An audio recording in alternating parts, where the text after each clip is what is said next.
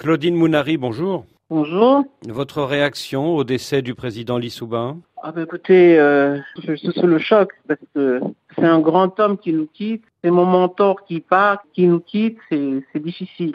C'est sûr qu'il était euh, très malade ces derniers temps, s'y attendait plus ou moins, mais enfin, malgré tout, c'est un choc, un choc. Quel est pour vous le grand souvenir que vous garderez de Pascal Lissouba Son grand amour pour notre pays, sa grande foi dans les Congolais pour faire de ce pays, euh, comme il disait lui-même, une petite Suisse.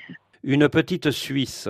Voilà, que nous avions et les moyens, les qualités pour faire de notre pays une petite Suisse. Il nous suffisait d'y mettre de la volonté et de l'amour et nous y parviendrons. Avec la science et la technologie, il nous disait, et il avait raison, que nous pouvons développer notre pays très rapidement en copiant, comme il disait, l'intelligence des autres. Oui, parce qu'avant d'entrer en politique, il avait fait des études scientifiques. Il était ingénieur agronome. Oui, c'est un généticien d'abord, ingénieur agronome. Il a longtemps travaillé à l'UNESCO aussi. Il a vraiment fait la promotion de la science et de la technologie dans notre pays. Je me souviens qu'au début, quand il en parlait, ça faisait rigoler un peu tout le monde. Il disait, ouais, bon, ça va. Mais bon, aujourd'hui, quand on voit ce qui se passe aujourd'hui, on est obligé de reconnaître qu'il avait raison sur la science et la technologie. Il disait, par exemple, bientôt, vous verrez que les mamans auront le téléphone dans les plantations. Les gens rigolaient. Aujourd'hui, c'est ce que nous vivons au quotidien. Donc, il avait une vision. Il avait une vision pour le pays. Il avait une vision pour l'Afrique et c'était un bon guide. Dans les années 60, il avait été Premier ministre, puis en 1992, à l'issue de la conférence nationale, il a été démocratiquement élu président de la République. Pourquoi est-ce lui que les Congolais ont choisi en 92 Parce que d'abord c'est un démocrate, il inspirait confiance au président Pascal Lissouba, parce que c'était quelqu'un d'accessible, malgré toute son intelligence, malgré toutes ses connaissances, c'était quelqu'un de prêt à partager ses connaissances avec les autres. Et puis bon, à la conférence nationale, on avait un peu marre du pouvoir au bout du fusil, on voulait euh, un pouvoir civil pour le coup. Et il avait un projet de société qui était séduisant. Et il savait parler avec des mots simples malgré sa science, malgré sa grande culture. Oui, il savait partager, il savait se mettre à votre niveau pour que vous compreniez de quoi il parle. Et il avait les mots qui touchent. Par exemple, je me rappelle d'une phrase qu'il disait souvent, euh, la femme de qui vient l'amour, à qui va l'amour quand il disait par exemple, euh, mais je comprends les femmes, c'est parce qu'elles donnent la vie qu'elles sont les plus promptes à la défendre. Vous savez, quand on parle comme ça devant les mamans, ça les touche quand on donne à la femme la place qui est la sienne en tant que pilier de la société, c'est des choses qui ont beaucoup marqué. Et je crois que son succès à 92 tenait de tout ça. Il a fédéré les gens autour de son projet. Les femmes se sont levées. Alors son mandat a bien commencé, mais il s'est très mal terminé. Comment expliquez-vous la guerre civile de 97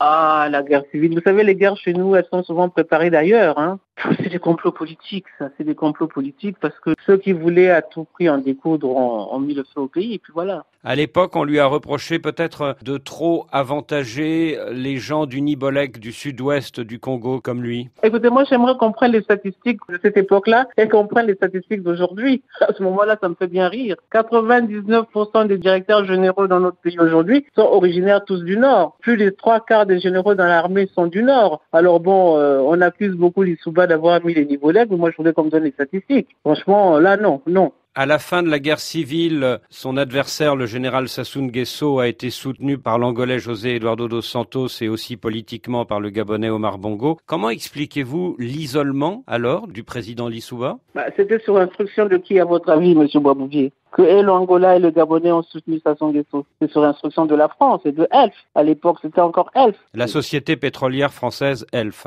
Voilà, c'est les faiseurs de roi. C'est-à-dire qu'il a demandé qu'on revisita la part du Congo dans le pétrole. Mais c'est pas un truc qu'il a fait tout seul dans son coin. Il l'a fait avec un pétrolier de la maison, la maison ELF. On a fait un procès à Pascal Issouba en disant qu'il menaçait les intérêts de la France. Mais vous pouvez me croire, Monsieur Taralo encore vivant, le partage de production sur le pétrole a été dicté par Taralo et j'étais assise à Paris, rue Villers-Sexel, où on avait mis un local à la disposition du président Pascal Lissouba pour préparer sa campagne. Et ça, ça a été fait avec Taralo. Donc quand le président Lissouba parle de partage de production, il ne prend pas les pétroliers en traître mais on le lui en a voulu, comme c'est pas permis. Et alors ensuite, il y a eu... Ensuite, ils nous ont bloqués, on n'avait rien. D'abord, on avait trouvé les caisses vides. On était au mois de septembre, il y avait déjà quatre mois sans salaire. De quelle année De 92, l'année de son élection, de 92. Il arrive, les caisses sont vides, il peut pas payer les salaires. Elle, je ne veux rien entendre pour aider. Elle, qui a l'habitude d'accepter de gager le pétrole sur des années et des années comme ils font aujourd'hui, il refuse et on est aux abois. D'où la signature de ce contrat avec Oxy qui nous nous a valu tous les malheurs du monde. Et on s'en est rendu compte par la suite, qui ont condamné le régime de Pascal Lissouba parce qu'il avait signé avec les Américains. Et vous pensez que c'est donc la décision de Pascal Lissouba de signer avec l'Américain Oxy qui lui a été fatale sur le plan politique en 97